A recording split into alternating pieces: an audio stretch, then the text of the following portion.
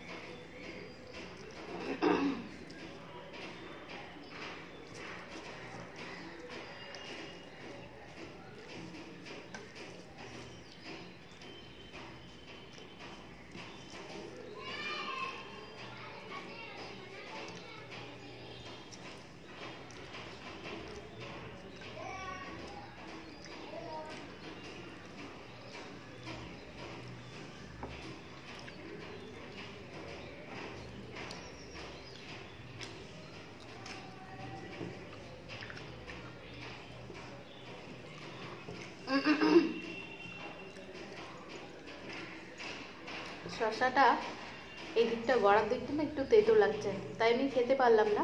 শশাটা এমনি মাথার দিকটা ভালো লাগছে গড়ার দিকটা একটু তেতো লাগছে। আর আধা টমেটো খেতে পারি ফ্রেন্ড ভিডিওটা ভালো লেগে থাকলে অবশ্যই লাইক করো কমেন্ট করো। আর যদি আমার চ্যানেলে নতুন হয়ে থাকো, অবশ্যই আমার চ্যানেলটিকে সাবস্ক্রাইব করো। Bye bye